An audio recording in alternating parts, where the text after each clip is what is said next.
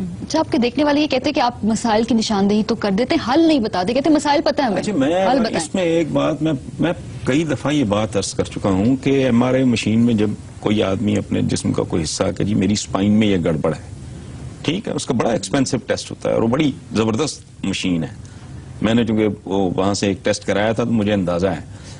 तो वो मशीन आपको एग्जैक्टली exactly बत, उसने बता दिया मुझे कि मेरे कौन से मोरे में क्या प्रॉब्लम है।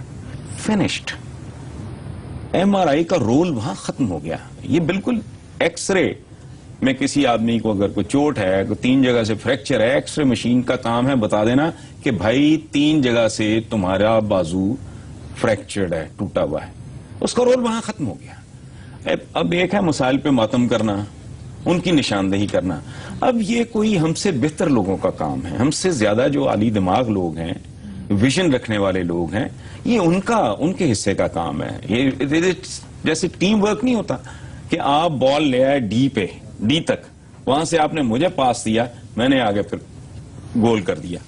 सो ये जितना हमारा रोल है हम उतना कर रहे हैं। अगर अल्लाह पाक ने ज़्यादा अक्ल और ज़्यादा विजन अता फरमाया तो शायद वो नौबत भी आ जाए अच्छा कुछ जर्नलिस्ट हल बताते भी हैं फिर जब वो इम्प्लीमेंट नहीं किया जाता नाराज़ भी हो जाते हैं गवर्नमेंट से। अच्छा नहीं नहीं उनका तो वो वो हैं अ, हरफन मौला टाइप किस्म के लोग हैं। मैं हैरान हूँ।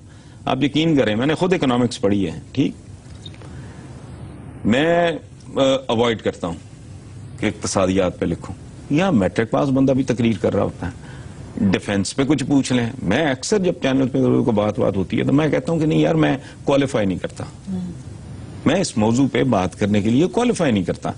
बाकी लोगों का क्या है वो तो जो जिस मौजू पे चाहे। अच्छा जाते जाते दो इंटरेस्टिंग ईमेल्स हमें आई हैं। कि लोग आपको जैसे क्रिटिसाइज करते हैं तारीफ़ भी करते हैं। एक हज़रत ने लिखा है कि आप इतना अच्छा कैसे बोल लेते हैं मुझे समझ नहीं आती। अच्छा इन साहब को या साहिबा को मेरी तरफ़ से ये पैगाम मिलना चाहिए कि मैं भी अक्सर सोचता हूँ कि मेहदी हसन साहब इतना अच्छा कैसे गा लेते थे रफी साहब इतना खूबसूरत कैसे गा लेते थे तो ये तो अता होती है।